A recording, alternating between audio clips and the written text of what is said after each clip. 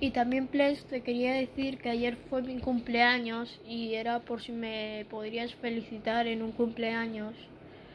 Y si me felicitas igual que todos, os doy mil gracias. ¿Vale? Chao.